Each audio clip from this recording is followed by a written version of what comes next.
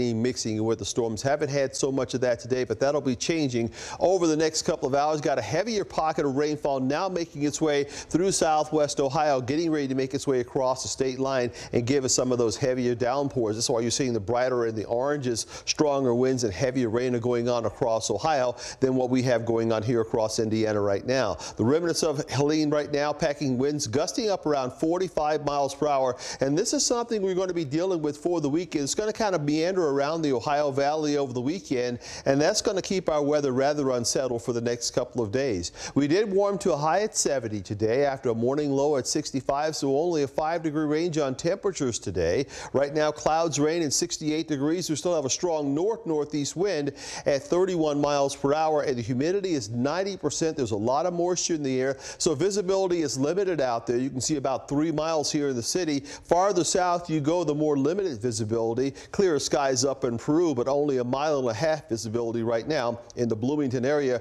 where they picked up three quarters of an inch of rain. The heaviest rain has fallen south of Interstate 70, and that's going to continue to be the case, but we're all going to get on those high winds tonight, so we have the high wind warning. That still goes on through 1 o'clock in the morning along and south of Interstate 70, where the winds are expected to be stronger. We have isolated power outages across central Indiana right now. That number may grow as the winds pick up and we start to see a couple more trees and power lines coming down this evening. So far today has been the wettest day of the month, over a half inch of rain, pushing a monthly total close to one inch for the month of September. But we've got a daily chance of rain on the way Saturday, Sunday, and Monday. We're going to see more scattered showers across the area.